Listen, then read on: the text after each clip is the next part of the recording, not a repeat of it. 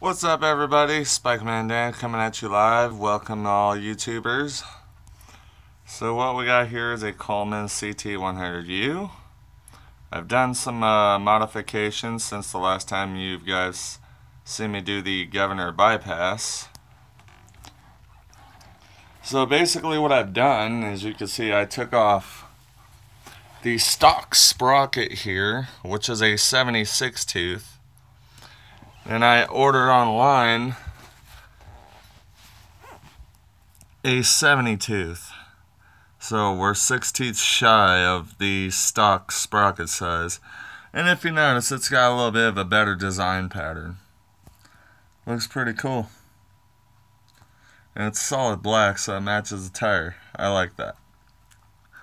I've also gone ahead and adjusted and resized the chain. If you notice, there's no slack. I mean, very little to no slack. Because for anybody who's ever made a left turn on one of these bikes and they had a loose chain, obviously knows the chain snaps or binds.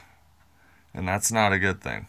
So, you definitely want to have your chain pretty tight. And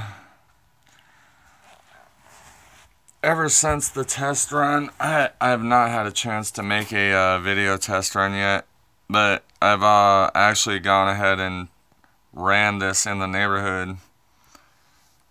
It's about 3 a.m. in the morning, but yeah. Made it without no cops called, thank God. I got some pretty cool neighbors in the neighborhood, so they know what I'm up to.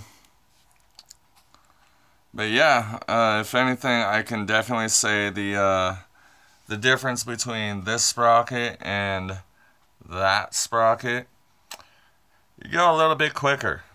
The acceleration takes a tiny bit longer, but not by far much. But you will definitely see an increase in top speed. So that's my review for right now on the uh, sprocket change. My name is Spikeman Dan, and I hope you all enjoyed this review. Please go ahead and subscribe, and don't forget to like this video. And uh, I'll keep those videos coming on the uh, next upgrade on this bike. And that's a wrap.